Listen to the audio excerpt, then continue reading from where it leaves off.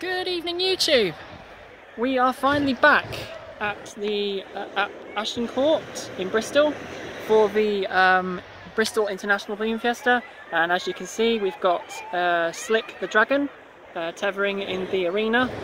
We've got a few others who are tethering at the moment and unfortunately it is too hot to fly this evening.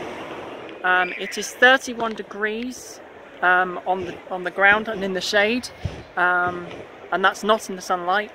Um, so unfortunately, uh, it's it's too hot. It's too hot for two reasons. One, there are thermals up in the air, and a thermal is like an invisible tornado, if you will, um, that balloons do not uh, go hand in hand with, and they can be violently thrown around in the sky and um, the second reason is uh, how much weight uh, the balloon is actually carrying.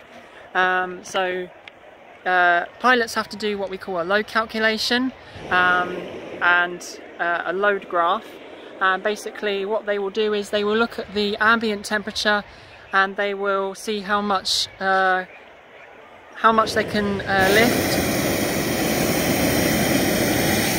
and how much spare lift they have and unfortunately at 31 degrees a 77,000 cubic foot balloon will struggle to get to around 1500 foot. Um, and I shall explain a bit more about that in a minute um, or rather more in, uh, over the weekend. But stay tuned for more videos from uh, Balloon Fiesta. Shad is here uh, as is my model and I hope to be able to fly Shad in the morning. So keep you posted guys. Oh and by the way hopefully the next video will be the night glow as long as the um, music doesn't get cancelled out by YouTube. Oh, and further note, the um, fireworks have had to be cancelled as well because of the absolutely parched, dry conditions on the floor and for the risk of uh, forest fires and field fires.